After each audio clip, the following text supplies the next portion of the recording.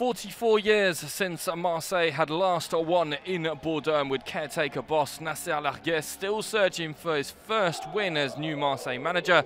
The stage was set for OM to try and record a famous victory. The visitors would be without Polish January signing Artur Milik, sidelined through injury. The Last couple of weeks haven't been easy for the Girondins.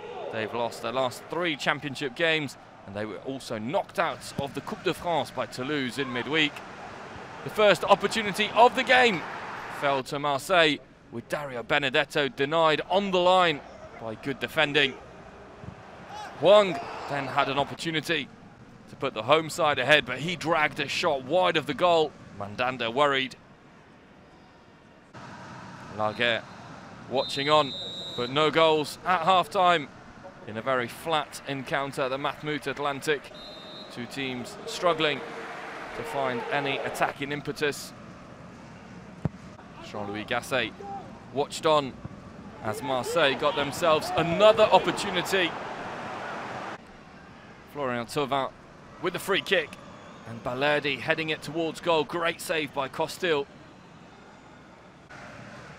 The game changed in the space of a minute.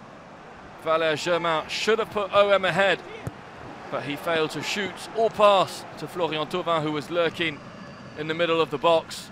Really poor decision by the former Monaco man. Through on goal, he should have scored.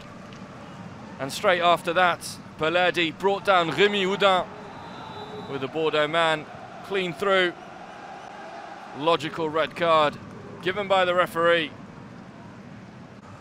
And Marseille down to 10 men. Oudin with a cross. And the post hit by Hwang. Mandanda was beaten on that occasion. Matters got even worse for the Olympians as Dario Benedetto cropped Laurent Koscielny. The Argentinian receiving a red card. And Marseille down to nine men. Reckless challenge by Benedetto.